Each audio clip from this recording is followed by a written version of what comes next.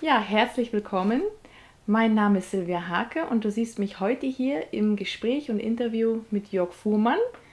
Und zwar in seinem wunderschönen Freirauminstitut hier in der Schweiz, in Stein am Rhein. Und ja, wir haben uns heute hier getroffen am 22. Juni 2020, einen Tag nach der Sommersonnenwende. Und wir möchten mit euch einfach so über die aktuellen Zeitgeschehnisse sprechen und auch ja, welche Chancen und welche Ressourcen auch so in diesem spirituellen Zugang auch zur Psychologie, zur Therapie ähm, stecken können, eben um mit dieser Krisenzeit jetzt umzugehen und auch mit dieser unglaublichen Polarisierung, die du ja. wahrscheinlich auch ja. wahrgenommen hast. Ja. Und ähm, ich denke, da haben wir vieles gemeinsam. Ich habe ja auch sehr früh auch diese ähm, Atemtherapie, also Rebirthing-Ausbildung gemacht, 1999. Du warst mhm. ja auch beim holotropen Atmen, mhm. ja, was ja auch, sage ich mal, sehr, sehr viele Gemeinsamkeiten hat, aber mhm, auch Unterschiede. Ja, genau. Und ähm, ich denke, das sind so Themen, ja, die uns beide verbinden. Mhm. Und ähm, ich glaube auch, dass jeder, der sich so auf so eine Entdeckungsreise, so eine Forschungsreise begibt, auch mit ganz viel persönlichem Einsatz ja diesen mhm. Weg geht. Das ist ja jetzt keine klassische psychologische Stimmt.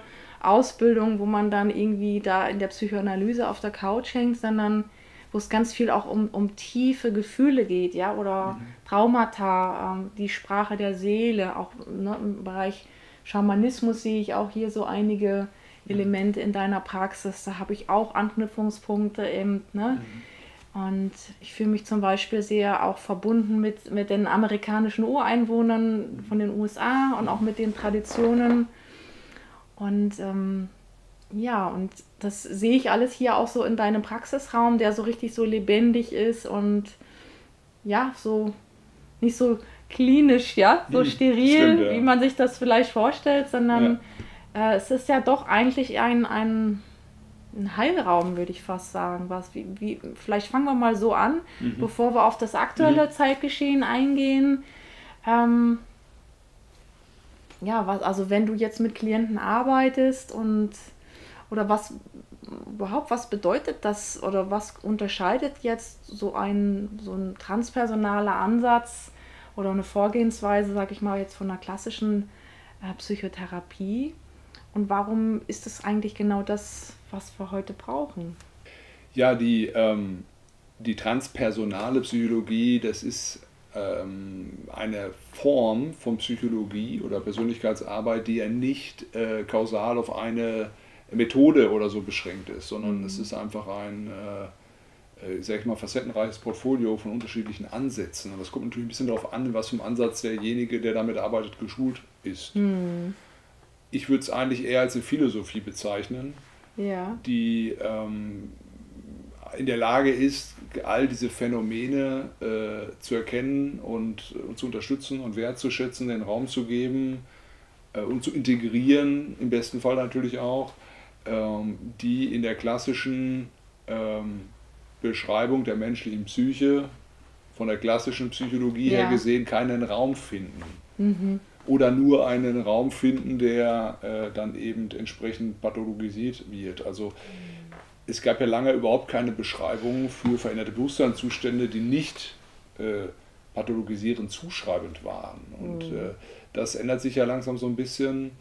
Ähm, ja, aber diese, dieser ganze Bereich der Spiritualität, der ist natürlich bis dato, und die Phänomene, die dazu gehören, sind ja bis dato sehr wenig äh, mit eingeflossen in das Konventionelle. Ja. Und dabei sind eigentlich, äh, Maslow hat das mal so schön auch gesagt, beschrieben und äh, Wolf Bündig vom ZIST auch, äh, dass die ganz wesentlichen menschlichen Erfahrungen Richtig. eben nicht messbar sind.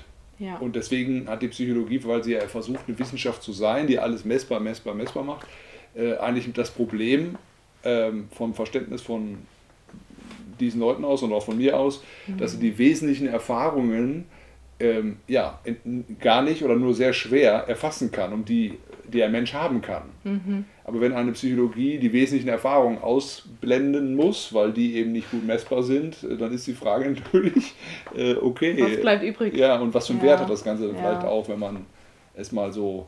Ich meine, es ist schön, dass man so viele Sachen messen kann und bewerten mhm. kann und klassifizieren mhm. kann, aber es gibt doch eben immer nach, äh, hat Jung ja auch sehr gut beschrieben, an einem bestimmten Moment im Leben eine Frage, zum Beispiel nach dem, wofür, wozu bin ich eigentlich hier? Ja, genau.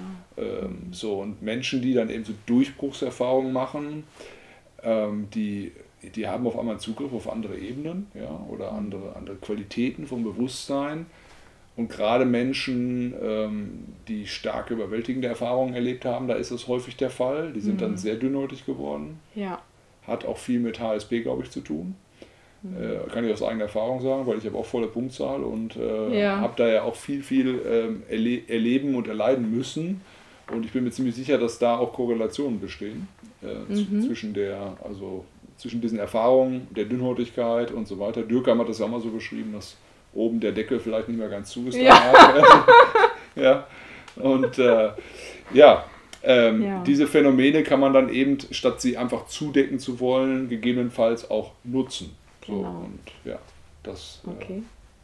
ist so die Idee dabei. Mhm. Und wir haben natürlich ein äh, Jahrtausende altes äh, Wissen. Also das muss man vielleicht mal sagen, auch äh, in der, im Rahmen der Menschheitsgeschichte in allen Kulturen.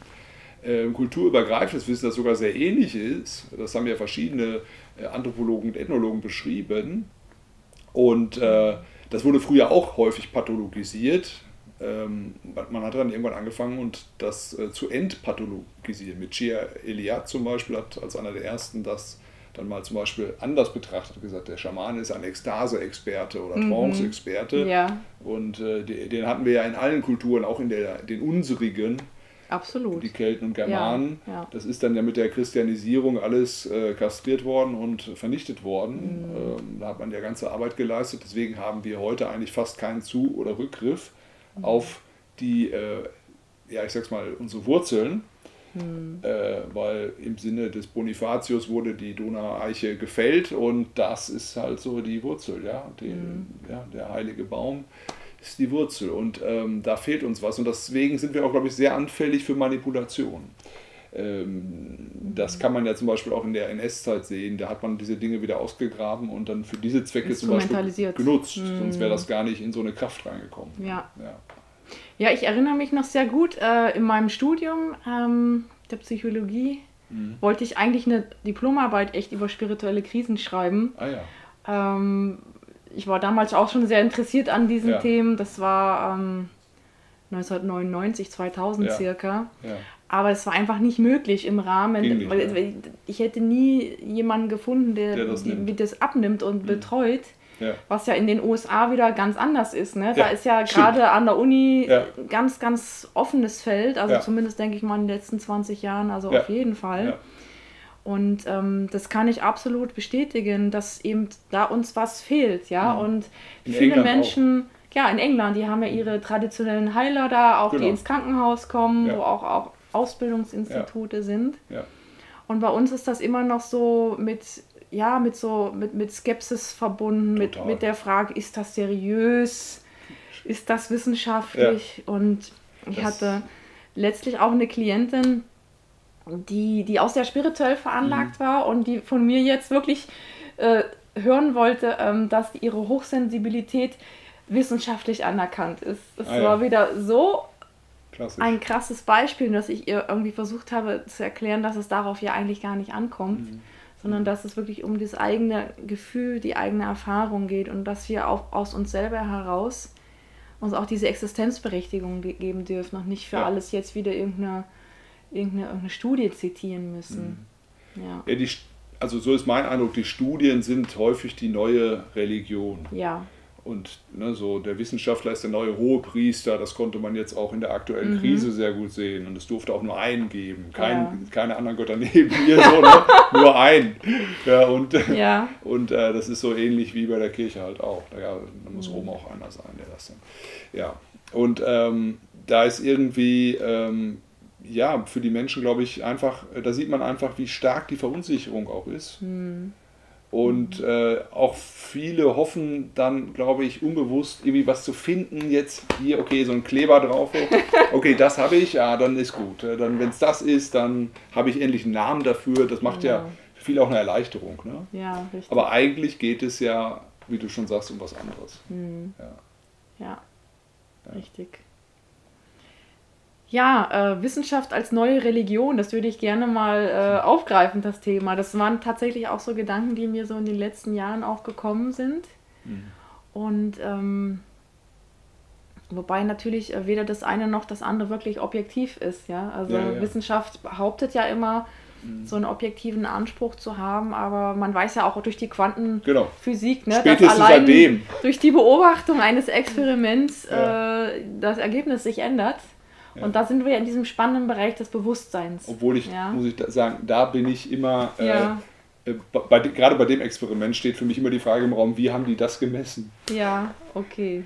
Also, die, dass es sich Ja. ändert, wenn du durch die Beobachtung, ja. Das, das finde ich mal faszinierend. Also, wenn jetzt Mhm. keiner geguckt hätte, wäre es anders gewesen.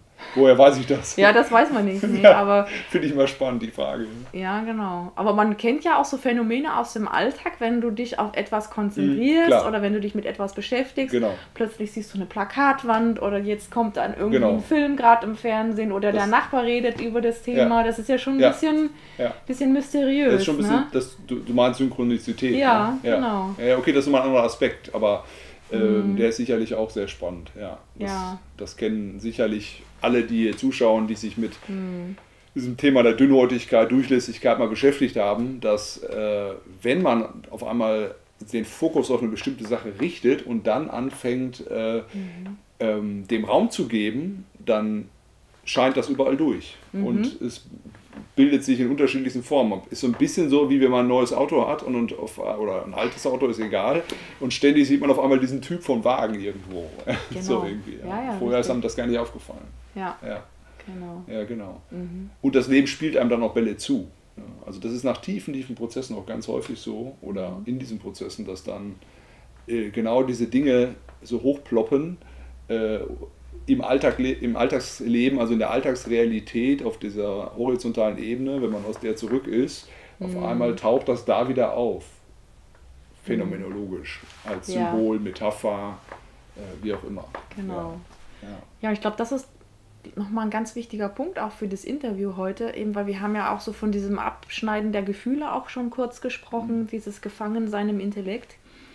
Und wenn wir eben solche Erfahrungen machen, ne, dass das Leben uns antwortet, dass dann auch so dieses Gefühl der Isolation, Mhm. ja, der Ohnmacht, der Hilflosigkeit ein Stück weit auch reduziert wird, dass wir sehen, ah, es gibt eine Antwort, es gibt ja, eine, eine Interaktion mit dem, mit dem Leben, Ja. auch wenn ich nur quasi nur mir zum Beispiel in der Meditation was visualisiert habe oder Ja. ganz fest mir was vorgenommen habe und mich darauf fokussiert habe.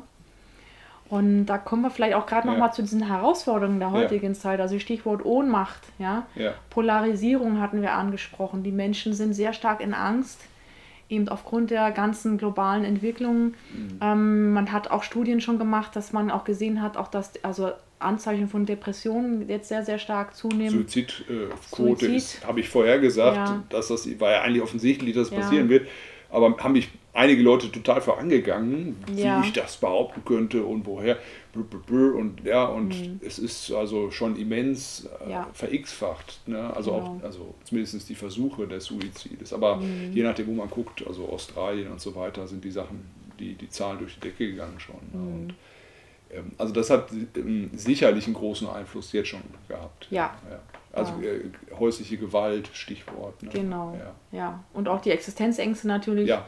Klar, das, ganz in, in, der, in dem Zuge äh, ist Mhm. mit Sicherheit der Suizid für viele eine Folge gewesen. Dann auch, ne? Und das muss man eigentlich auch, all- alles müsste man das alles mal zusammenrechnen. Was sind denn äh, Ja. die Folgekosten dieser ganzen, ganzen Aktion da gewesen, muss man sagen. Ja, Ja. ja. Ähm, ich weiß nicht, ob da jemals irgendwann jemand für zur Rechenschaft gezogen werden wird. Äh, Ich befürchte es nicht, aber theoretisch müsste man sich das mal genauer anschauen. Ja. Das Abwägen, Juristisch ja. ja. anschauen, was ja. da eigentlich gemacht wurde. Ja, genau. Anhand welcher Daten, weil das ist ja auch angeblich wissenschaftlich gewesen.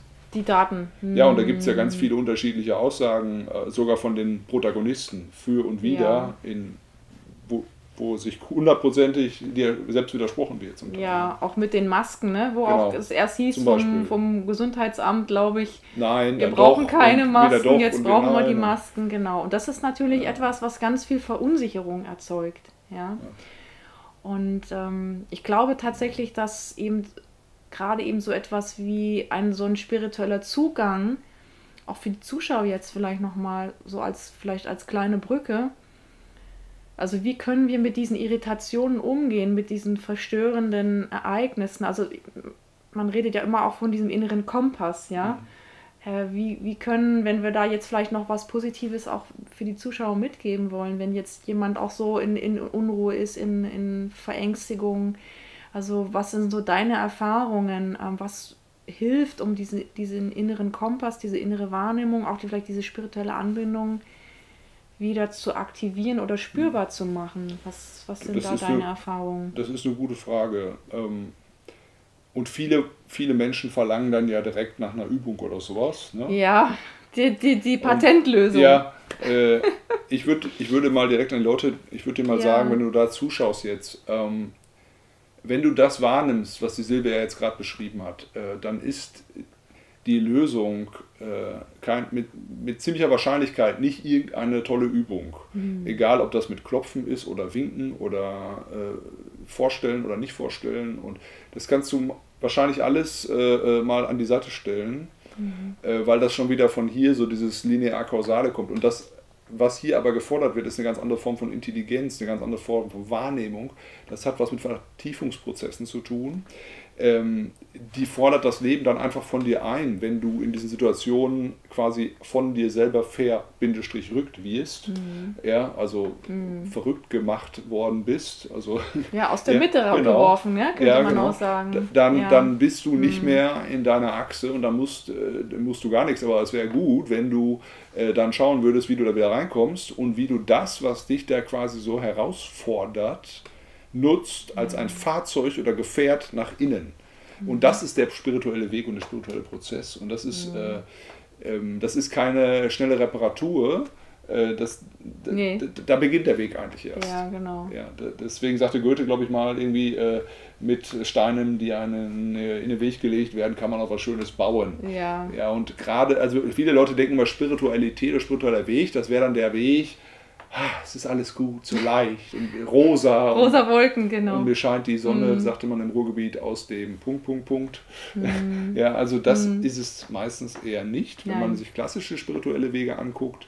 Das sind meistens Wege durch die Dunkelheit. Absolut. Oder ja. durch den Schmerz. Und deswegen sagte der Mystiker Meister Eckhart auch, Leid mm. ist das schnellste Pferd zu Gott. Mm. Deswegen muss man sich keine lederne neunschwänzige Katze kaufen, mit der man sich ständig dann flagellantiert.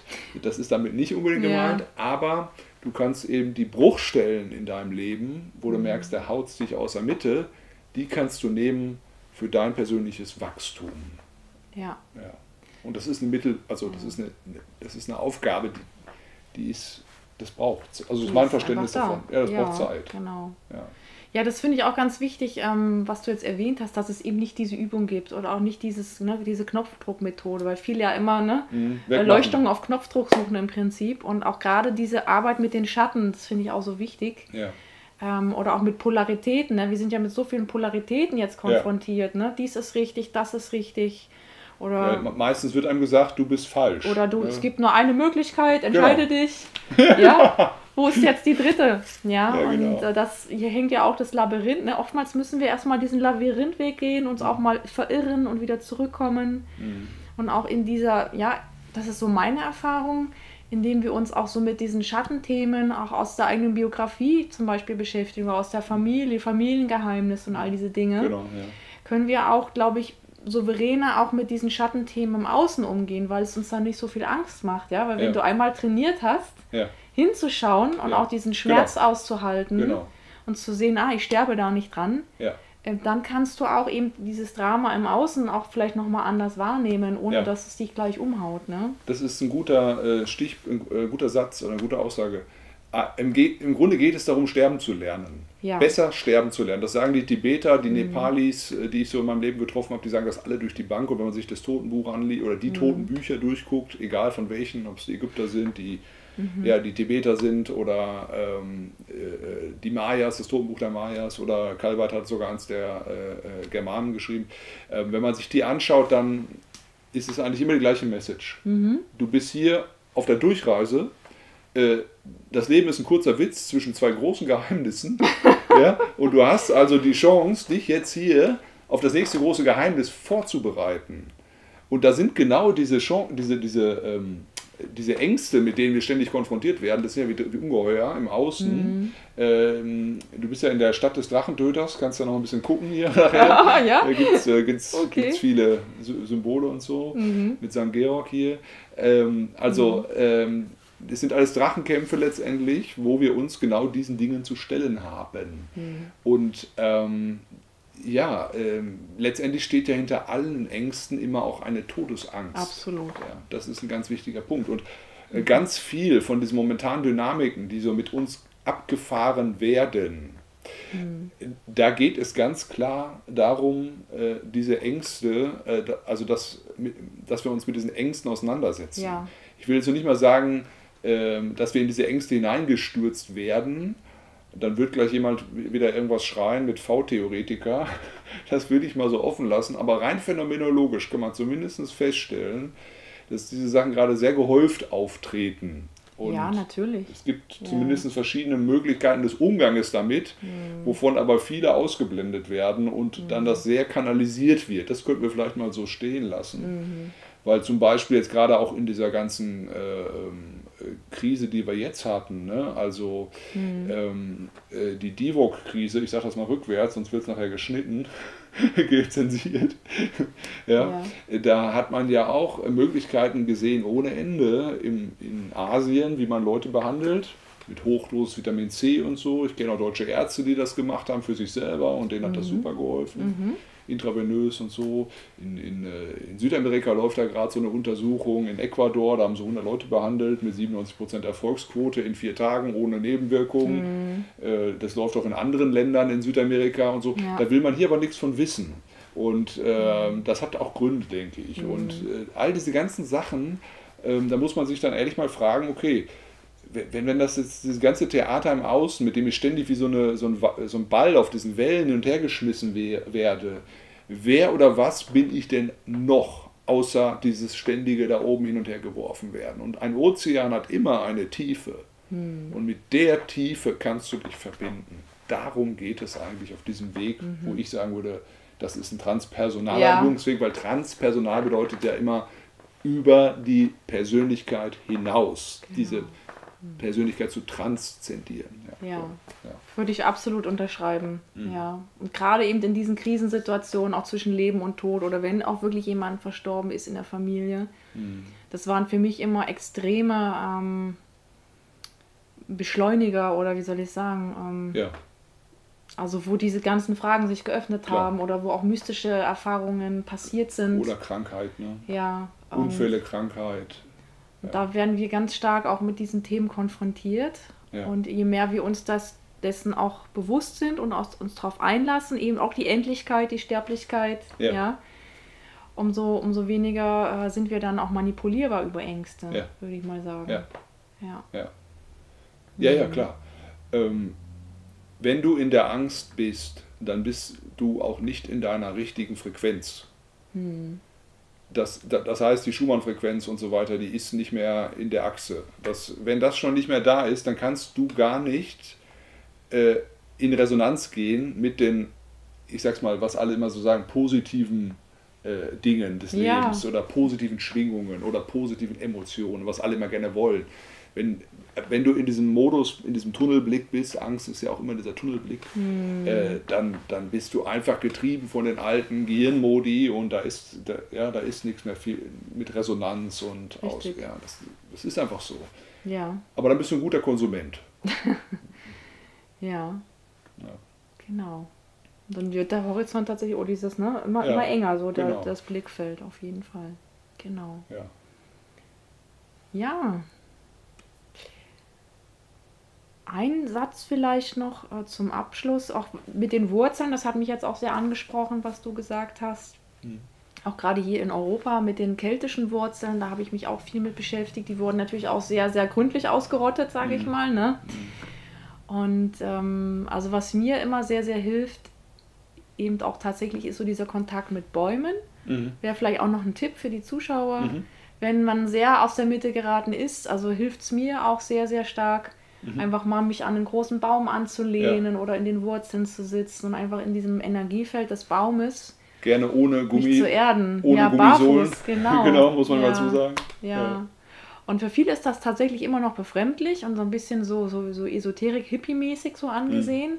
Und dabei ist es, war es für unsere Vorfahren wirklich etwas Heiliges. Normal war, ne? Ja. es gab die heiligen Haine, das Ja. waren die heiligen Bäume. ja. Und ähm, ja, das, das würde ich mir wünschen, ja, dass auch gerade dieser Bezug zu den Bäumen, auch als Lebewesen, auch als spirituelle äh, Wesen, dass der wieder stärker wird hier in Deutschland. ja. Und ähm, dass man das nicht so als, wie gesagt, als so ein Hippie-Spleen irgendwie abtut, sondern dass man wirklich wieder diese, diese tiefe Verehrung, diesen Respekt und diese Verbundenheit mit der Natur wieder erfährt, ohne m, das zu idealisieren, aber auch ohne das zu bagatellisieren. Mhm. Ja? Also ich glaube, Ja. ähm, da sehe ich auch noch einen großen Weg, Ja. eine große Chance, Ja. dann wirklich auch mal Fernsehen ausmachen, diese ganzen Benachrichtigungen ausmachen und dann wirklich möglichst ohne Handy ja mal zum Baum gehen. ja. Das, Total, total Ja. gut, ja. Finde ich total schön. Also, ähm, ich hatte mal einen Qigong-Lehrer, der hat das ständig gemacht mit den Leuten. Ne? Um den Mhm. Baum rum und dann die Übung. Ne? ja, Und, schön. Ne, also, du kannst einen Baum e- wirklich im wahrsten Sinne des Wortes anzapfen. Mhm. Und den auch bitten, für dich was zu transformieren. Ja, Das, das geht, ja. die Erfahrung habe ich auch gemacht. Ja, das geht, ja. Das ist, Mhm. überhaupt keine, ist kein, kein Hexenwerk. Ja. Und ist vielleicht auch eine schöne, einfache Sache, was die Zuschauer mal probieren können. Mhm. Gerade wenn so Mentaltechniken oder so irgendwie gerade nicht mehr funktionieren, ne? wenn man Ja. so in der Angst ist oder so im, im, im emotionalen Drama, Ja. dass man einfach gar nichts machen muss und einfach nur spüren, erleben, sich mal fallen lassen Ja. und einfach so ein bisschen Ja. Anlehnen ne? an den Baum. Ja, also das Mhm. ist genau das, denke ich, was uns ja fehlt. Und ähm, ähm, das ist gerade in der heutigen Zeit, äh, wo wir in diese, wie du gerade gesagt hast, unheimlich stark in diese Polarisierung reingepresst werden, in diese Extreme, rechts, links, oben, unten, schwarz, weiß. Es ist ja, Ja, alles nur ja. noch polarisiert. Ja? Mhm. Und ähm, du musst dich ständig, sollst du dich irgendwie für eine Sache bekennen und im nächsten Moment ist wieder die falsche gewesen und so irgendwie, ja. Und äh, in der Hypnose würden wir sagen, das ist eine Konfusionsinduktion, was so aktuell da läuft. Mhm. Und ähm, es geht ganz viel um Stigmatisierung und um, um äh, Labeling, ja, das da, weil das, das kann ja auch was sehr Negatives sein, dass Leuten so Etiketten aufgeklebt Ja. werden. Ähm, so, und es geht, habe ich den Eindruck, für den Menschen von heute ganz stark darum, ähm, wie Karl Rahner sagt, äh, über die Frommen, äh, der Fromme von morgen wird ein Mystiker sein oder er wird nicht mehr sein. Ja, und so geht, das kann man glaube ich nicht nur auf die Frommen übertragen, die gibt es nämlich kaum noch, sondern auf den Menschen allgemein, äh, dass es eben darum geht, äh, wieder bei uns äh, äh, anzukommen, Ja. weil da draußen wirst du verrückt gemacht.